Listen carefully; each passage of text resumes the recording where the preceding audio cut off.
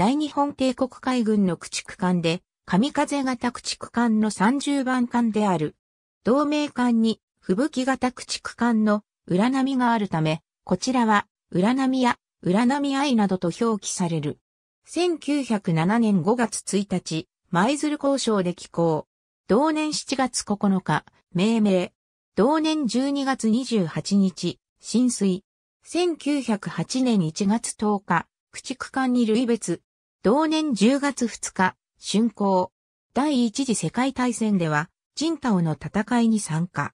シベリア出兵時には、沿海州の沿岸警備を行った。1924年12月1日、総海艇に編入。1928年4月1日、潮の除石に伴い総海艇裏波型となる。同年8月1日、日本海軍は第44号駆逐艦を吹雪型駆逐艦、裏波と改名。これに伴い、総海艇裏波は第8号総海艇に改称。裏波型総海艇は第7号型総海艇に改定された。1930年6月1日、除石、雑液船に編入。A 線圏交通船に改称。1935年10月25日、廃線。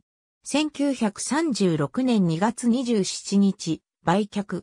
日本海軍史第9巻、第10巻の召喚履歴及び官報に基づく。第8号総改定に関するカテゴリー。ありがとうございます。